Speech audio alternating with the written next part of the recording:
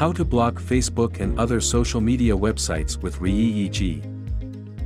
In a world where online distractions are ever present, keeping a productive and focused environment is crucial. Reyee EG offers a solution to this by enabling you to restrict access to social media and other websites across your network. Visit the official website of Ruijie Cloud. On the displayed web page, enter your username and password, and click Login.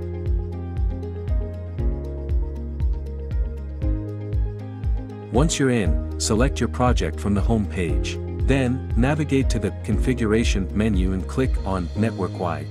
From there, proceed to click Optimization followed by Flow and App Control. Now, click on To Configure to enter the setup page.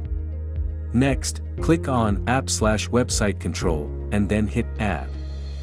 Select IP, and then tick the box for Social underscore applications.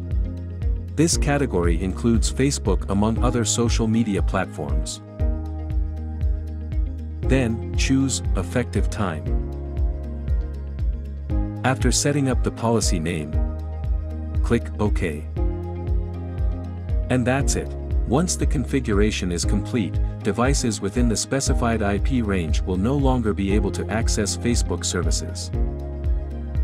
To follow this issue, comment on our video or send an email to us. See you in the next video.